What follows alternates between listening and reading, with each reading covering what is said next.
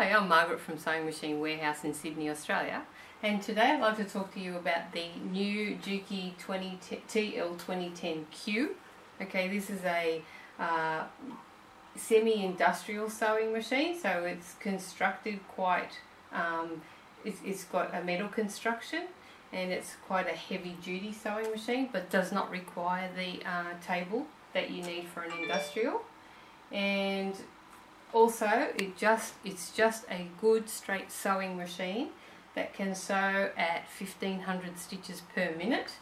And uh, because it, it, because of that um, people who do uh, light industrial work at home piecework commercial uh, curtain makers quilters would love this sewing machine or just uh, a, a dressmaker who might sew a lot of uh, straight seams uh, they would also need to probably have another machine for buttonholes because this machine doesn't do anything like that. But because it's so so simple and fuss free, everything is so smooth and easy on it. There's nothing that really can go wrong. Um, what I'd like to show you that they this is the machine that superseded the TL20 uh, 98P. So they made a few extra changes to this sewing machine um, that would probably be appreciated now by the quilter. Um, so let's run through those things at, uh, right now. Um, what you have now is an extra tension unit. So this is now called the pre-tensioner and that that's an addition. The speed control now here on the side which the TL98 did not have so you can slow this machine right down. And they've also changed the foot control. So now it's uh, more simplistic and the cutter is now activated by the um, back pedal on the machine on the foot control. So uh, it's nice and simple to use too.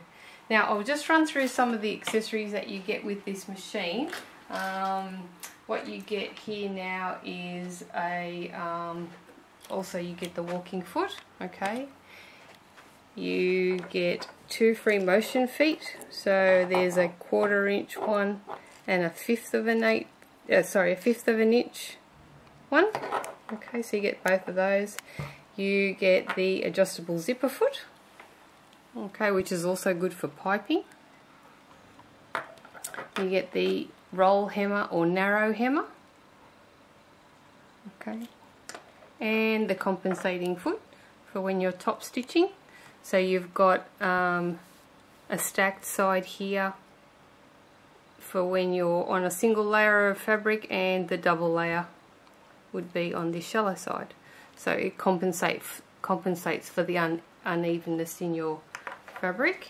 Okay. Also get your uh, screwdriver, cleaning brush, a little um, spool cap, and the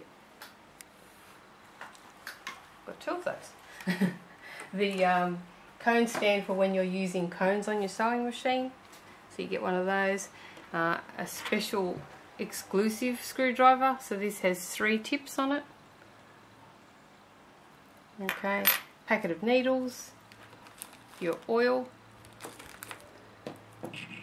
your lead cord, sorry lead, um, and instruction book in two languages, so English and Spanish. As well as you get this fantastic extension table, okay, which which completes the bed on your machine to make it um, a work a good work surface, plus six leveling leveling feet as well as your knee lever. Okay, now just going to extend those out.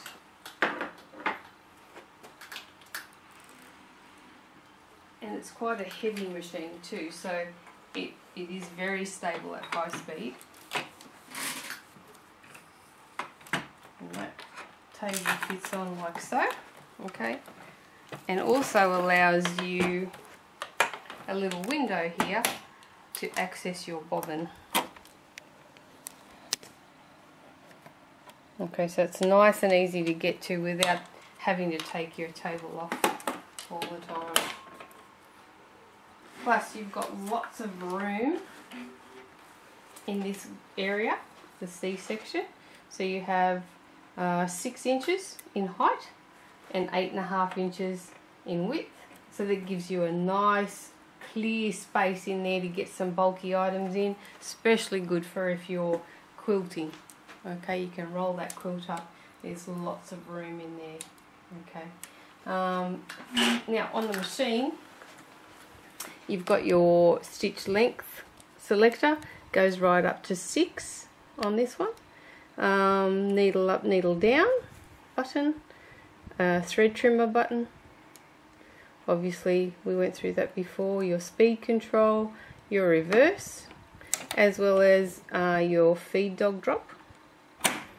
Okay so that that's when you're free motioning. Or if you do have to get something bulky in there you might want to recess your feed teeth. Okay. Um, bobbin winder which is on the machine. And you've got your thread antenna here so um, you, take, you can use your bigger cones of thread or your little ones. And over here we have our foot pressure adjustment. So if you are sewing bulky uh, items you can take your pressure off or if you're sewing something really stiff increase your pressure and a needle threader which I will show you how to use in a moment. I'll just thread the machine up for you and we'll go through that right now. Let me just put my knee lever in while we're at it. So it goes in right here, like so. Okay, so that helps when you're wanting to keep your hands on your work and you use your knee to lift your foot up. Okay. Now let's run through the threading of the machine. I'll just put my glasses on here.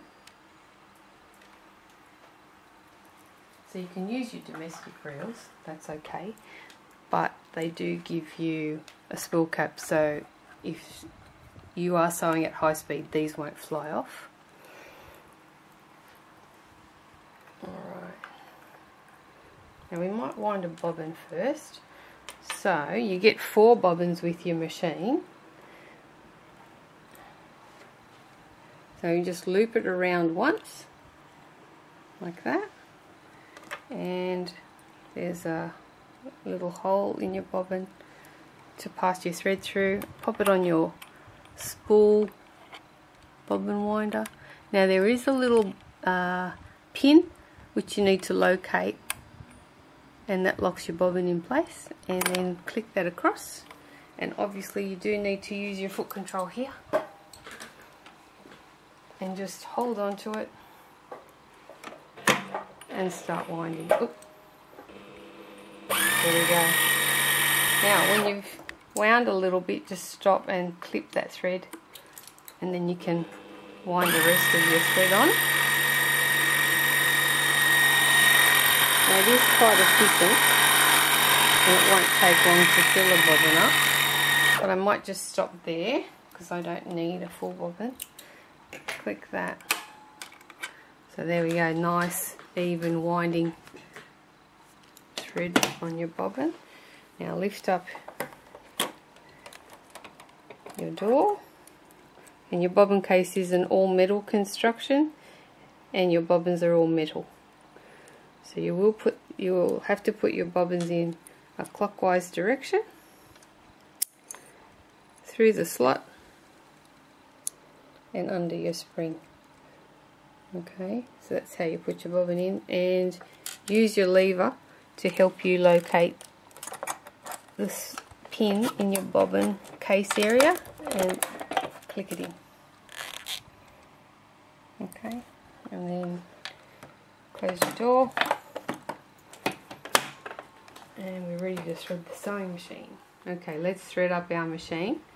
Now at this uh, thread guide you only need to thread the first and last if your thread is normal thread if you have something like silky or slippery, you will have to thread all three. Okay, so I've just done the first and the last. Over your first or pre-tension guide.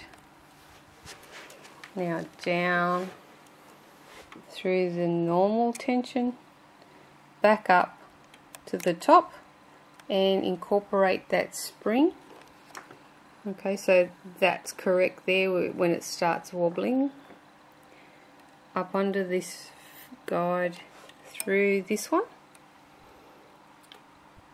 Over your take up lever.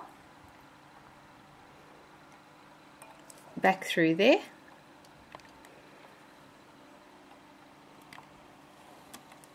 Through this one. Now there's one more above your needle, just there. Now just hold on to your thread and using your right hand, take your needle threader down all the way and then around, oops, underneath and there's your needle threader. Now you might have to do that a couple of times till you understand what it does, but once you get it, it's quite quick. Alright, now I'm just going to bring the uh, bobbin thread up. So needle down button, press it once and then twice, and that will bring your bobbin thread up. There you go, you have both of them there. And then take your thread to the back. And you're ready to start sewing. Now your needle plate has metric measurements at the back. So 10, 15, 20, 25, 30 mils. And your imperial measurements at the front. So you you've got your quarter inch, your, that'd be, not sure, 5 eighths of an inch. And then your 1 inch. So you've got quarter inch markings from there onwards. But you've got some smaller increments in here. So I guess that's a fifth of an inch, that one. Um, so that that's great, and that's a metal plate there. Now you've also got a couple of screw holes here. Uh, these are for if you add on any guides, um, bias binding attachment. They're there, two holes at the front, and the other holes are for oiling. Now that's all in your book, okay? So you will have to check on maintenance if you need to oil that, that machine and it's only a drop that you put in there okay? Now we're ready to start sewing. Okay so I might just use a one centimeter allowance there. So I'll just show you the reverse. So you've got your reverse button right there. Now I've set the machine for two and a half reverse and then click and needle up okay? So just a straight stitch but normal stitch length. Now if you have to I'm just going to show you how fast it goes. So I'll, actually leave it there but so you can see how quick it goes. You do need to do a little bit of uh, speed work. Okay. Alright, now if you need to baste, I'll put it right up to 6 mils.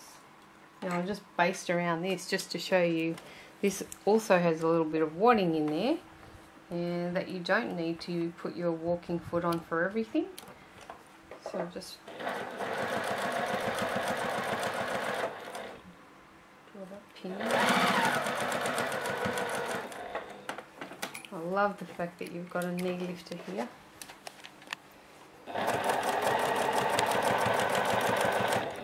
So see, I'm just basting it, so holding the layers together. Oops.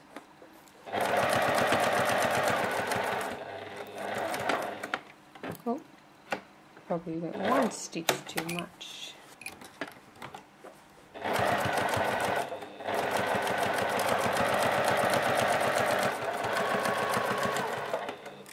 Okay. so that's your basting or long stitch. So if you do have to gather with that uh, that's the kind of stitch you're going to use for that. Now I might just put in a zipper so I'll show you that. Let me take the foot off.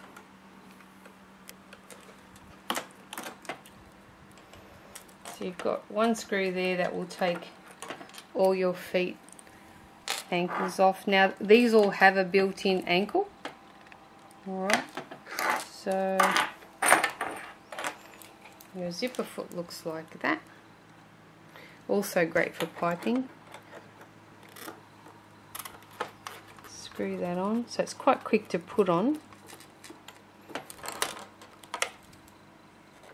Just give it one tighten. Okay, now we'll have to move that zipper foot over. Now depending on which side I'm going to do, I'll just put that right there. Okay,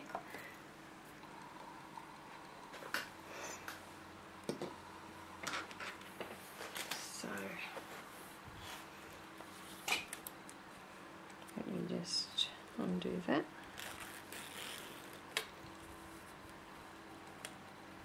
So this is going to be a pencil case. So I'll just show you how easy it is to put this zipper in.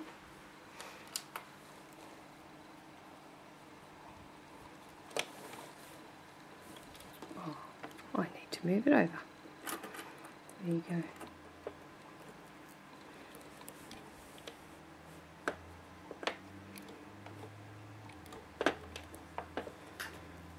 Let's just check that now.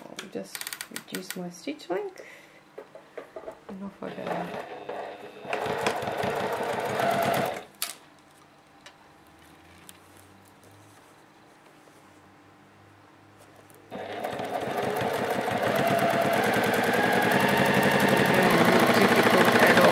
And everything is moving quite well together without pinning.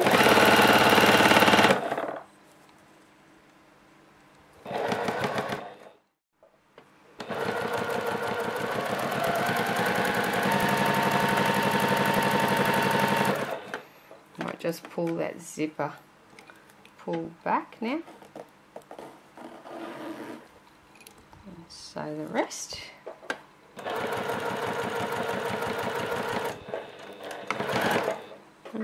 Trim my thread. There we go. So now I'll sew the other side. We can do that off camera. Okay so we're going to show you a little bit of free motion quilting. Now what I've done is I've changed my foot to the one-fifth of an inch foot. Okay, I've lowered the foot pressure, so I've turned this dial all the way up.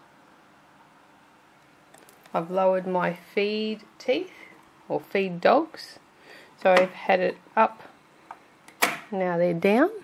Okay, stitch length doesn't matter because you're in control anyway. And I've threaded my machine up just like normal. And now it's up to me to steer the fabric. So you can slow this down a little bit depending on your level of uh, expertise on this type of stitching.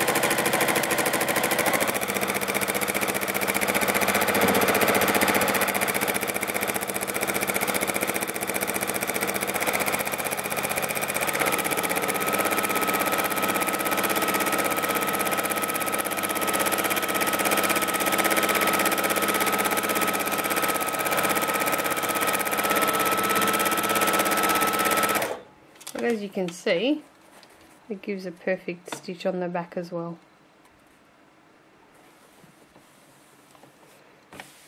Okay, so now we're going to show you how it sews vinyl. Okay, so if you do have to do some small uh, upholstery jobs or, um, you know, where you have to sew some vinyl or leather, it will handle it. Obviously, it won't replace a walking foot machine if you do this constantly um, but it will do these small jobs for you, no problem. I've just changed my needle to a jeans needle. Now this takes normal domestic needles. Okay, now the reason I changed to a jeans needle is to accommodate this thicker thread. So I've wound a bobbin with the uh, Gutermann Extra and I've threaded my machine with the same. So I'm just going to put my piping cord inside so just show you how it makes piping. It's very simple. Now there are specialty piping feet but you can do this with your adjustable zipper foot. Okay so I've just got it on a longer stitch just to make my piping.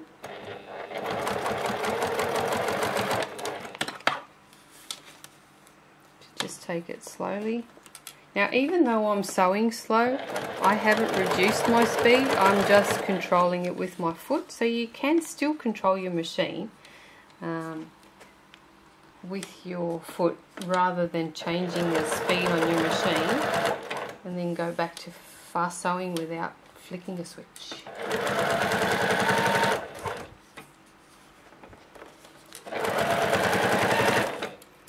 Okay, so that's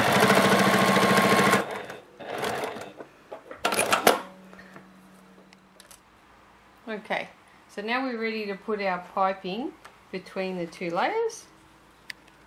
So we will have four layers of vinyl going underneath the foot there.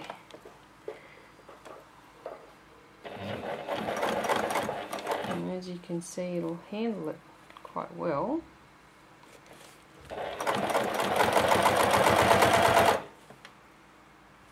It is quite bulky.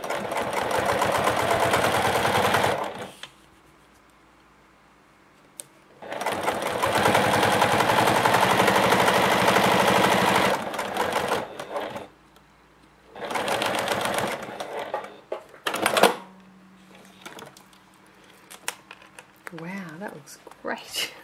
there you go. So you can do small upholstery items without any problem. So if you do handbags or anything like that, this is the machine for you. Okay, now, as you can see, this machine is quite versatile, even though it's just a straight stitch machine. But if this is what you're after, you'll uh, enjoy it immensely for all your sewing. Now, if you do want to purchase a machine like this, just check out our website. And we do deliver all over Australia. Um, it is quite heavy, so just check when you're ready to purchase um, exactly what the postage will cost. If you do have any questions or you want to put some comments, just uh, leave us a comment below and like and subscribe. And from all of us from Sewing Machine Warehouse, happy sewing!